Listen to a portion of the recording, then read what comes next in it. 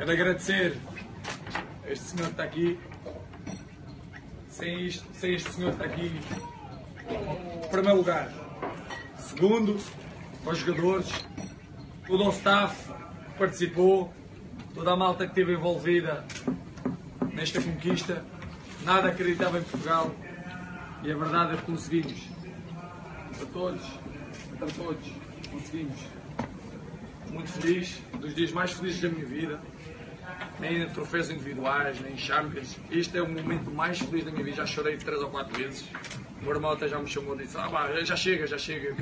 Eu disse: Hugo, não consigo. É um momento de verdade, mesmo do coração, juro pelo meu filho.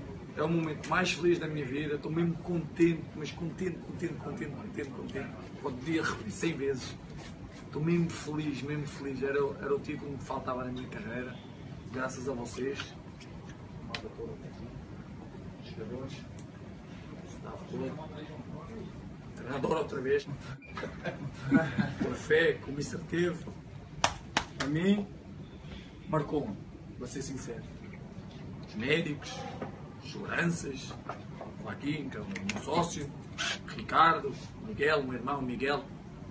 Mano, do fundo do coração, estou mesmo feliz e merecemos isto. Entramos na história de Portugal, fomos os primeiros.